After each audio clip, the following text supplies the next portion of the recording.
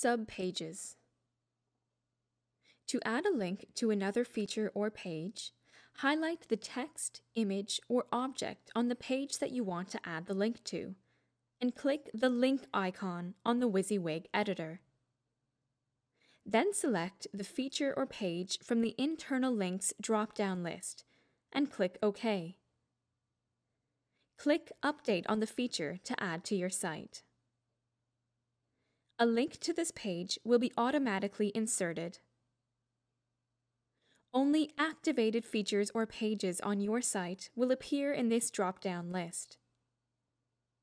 If you don't want the linked page to be accessible from the site navigation menu or the home page, go to the Advanced Options area of that feature and unselect the Display in Site Navigation and or Display on Homepage checkbox.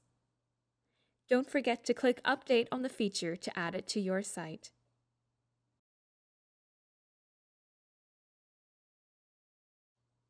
You also have the option to customize the features that are displayed on the home page and the main site navigation menu bar independent of each other for all features that have been activated on your site via the Advanced Options area of each feature.